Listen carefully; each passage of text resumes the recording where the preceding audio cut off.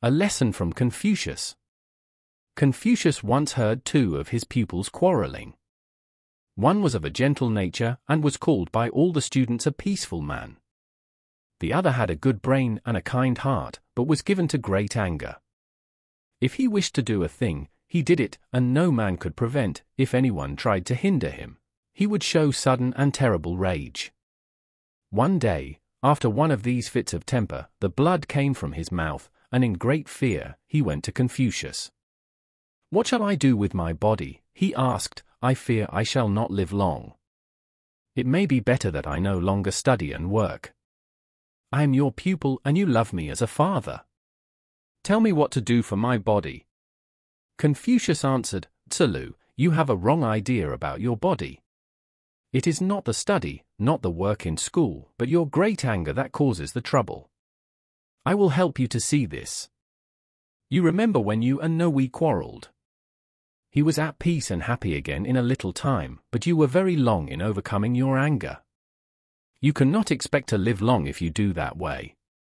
Every time one of the pupils says a thing you do not like, you are greatly enraged.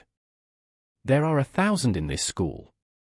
If each offends you only once, you will have a fit of temper a thousand times this year. And you will surely die if you do not use more self-control. I want to ask you some questions. How many teeth have you? I have 32, teacher. How many tongues? Just one. How many teeth have you lost? I lost one when I was nine years old, and four when I was about 26 years old. And your tongue, is it still perfect?